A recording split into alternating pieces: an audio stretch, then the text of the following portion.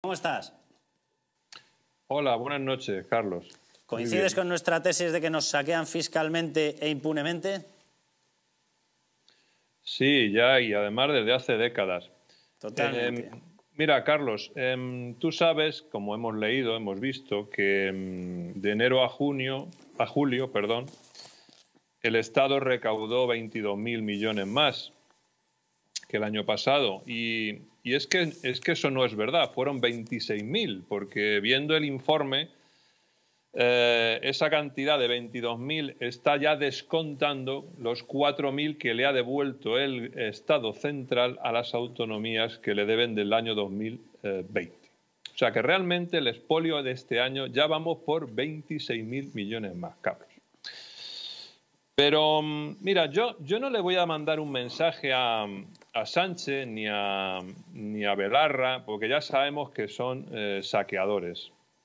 Yo se lo voy a mandar, con tu permiso, a Ayuso, a Bonilla, a López Miras y a Feijó, que dicen que es que el Estado se está, el gobierno se está forrando.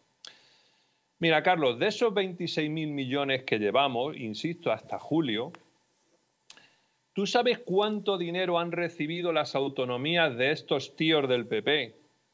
Estos que dicen que nos bajan los impuestos y que vivimos en el paraíso, ¿sabes cuánto han recibido de más en lo que va de año, Carlos? Por transferencias, más de 5.000 millones de euros. Pues mira, yo a estos les diría que si quieren bajarnos los impuestos de verdad y no como este eh, alfeñique de Bonilla que dice que va a quitar el patrimonio, esa inmundicia, ¿eh? Yo les diría que cogieran esos 5.000 millones y nos los devolvieran a todos los ciudadanos andaluces, madrileños, murcianos, castellano-leoneses, etcétera. Que nos lo devuelvan en un cheque el mes que viene. Eso es lo que tienen que hacer. Así demostrarían que están bajando impuestos y así nos ayudarían a luchar contra la inflación, Carlos. Porque estoy harto de tanta propaganda. ¿eh? Yo, Juan Carlos, que, tengo quejas de, de las comunidades autónomas yo de verdad que en este momento no le metería el dedo en el ojo a los que están devolviendo porque dices tú que lo devuelvan íntegro. Vamos a ver, lo sabemos todos, en época COVID, quien tuvo que apechugar con el gasto fueron las comunidades autónomas. Y no es cierto que les ayudaran. El nivel de ayuda que les dieron no suplía ni un 30 ni un 40% de lo que tuvieron que poner las comunidades autónomas. Y mientras es verdad que las comunidades autónomas están soportando la pérdida de inversión en España, la pérdida de empresas, la destrucción de empresas que tampoco les viene de ellos.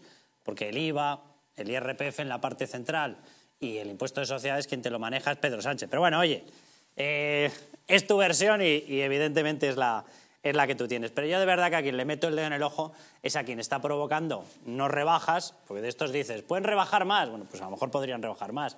Oye, el resto de comunidades autónomas, las socialistas, no es que no rebajen más, es que encima se suman a la quema. Y el gobierno central, que es el responsable de los grandes impuestos y de la normativa de los grandes impuestos, se está dedicando literalmente a hacer eso, 42 subidas de impuestos, Juan Carlos. Sí, sí, pero ya te digo que yo es, es que eso ya sabemos lo que son. Ya sabemos que tienen rabo y tridente y que viven en el infierno. Lo que pasa que es que yo, de verdad, me, cabreo porque ¿qué ha hecho Bonilla? ¿Qué es lo primero que ha hecho al llegar con mayoría absoluta, Carlos? Llámale Moreno. Que Moreno, Moreno. Pues, poner dos consejerías más y más altos cargos. Y lo mismo que Mañueco con Vox, los de Vox, los que venían aquí a a resolver todo. Mira, ya está bien de tanta propaganda. Carlos, estos análisis que tú has hecho ahí. Ah, y te voy a decir otra cosa, se la voy a decir a los oyentes. Eso de que dicen que España está por debajo de la media en presión fiscal en Europa, en la Unión Europea, es falso. ¿Y sabes por qué es falso? Porque el denominador con el que hacen la cuenta es falso. El PIB de España es falso. Nuestro PIB es menor el real es menor que el oficial. Si pusieran el dato real, entonces la presión fiscal sería del 45%, que es la que realmente estamos soportando.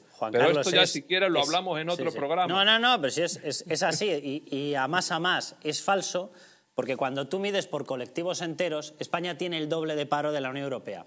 El número de personas que están pagando con potencial de pago 100% es muy inferior al de otros países si tú calculas la presión que soporta cada contribuyente, no la de un colectivo, que en el caso de España tenemos que tirar de más gente que está en el paro, si coges el esfuerzo tributario por persona, se dispara el de los españoles. Porque evidentemente tenemos que pagar más estado del bienestar para gente que está tirada en la cuneta. Que es así, nadie está negando que haya que, pagarles eso. Pero evidentemente en el cálculo no está bien realizado. Porque se está calculando todo el colectivo, cuando si miramos al contribuyente que está trabajando, la parte que se le quita es una auténtica barbaridad. No, no, si tienes toda la razón en eso, Juan Carlos, totalmente. Pero tú has visto esta nueva personaje que han nombrado del INE, que ha, ni más ni menos que ha revisado al alza, ni más ni menos que cuatro décimas, Carlos, como si eso fueran cuatro te perras. Te lo, crees, Juan Carlos, ese dato? Pues, no, uy, iba a decir una... No.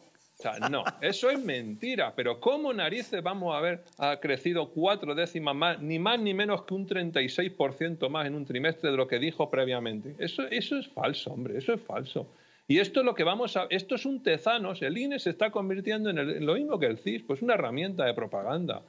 Y nosotros, y tú, por ejemplo, eres uno de los que también estás encomendado a ello, tenemos que vigilarlos de cerca y denunciar estos desmanes, hombre, y, calcular el, INE, eh, perdón, el PIB de forma paralela para demostrarles que están mintiendo. Es que, es que es así de simple. O sea, no podemos creernos una nota de prensa así por las buenas y ya está. Y pues, hombre, los que entendemos un poco de esto ya está bien, hombre, es que es, que es todo de verdad. Es... Juan Carlos, fíjate que esa, esa nota, bueno, les comento la noticia porque no la habíamos comentado en el programa, de pronto aparece el INE y dice que hemos pegado un rebote hacia arriba y que estamos creciendo como locos. Y dice, perdón, ¿y dónde ha salido esto? O sea, simplemente miren ustedes, la gente que nos está eh, viendo, que nos está oyendo, miren ustedes en sus economías domésticas y díganos si esto es verdad o no es verdad. Bueno, la nota de prensa en la que presentan ese dato de crecimiento viene precedida de todo un folio con cinco párrafos donde hacen todas las explicaciones de cómo han retorcido la metodología.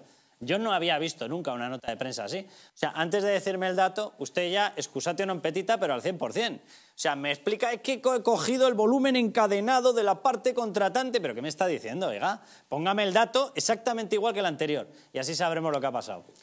Juan Carlos, un abrazo muy fuerte y muchísimas gracias. Igualmente, y gracias por estar ahí.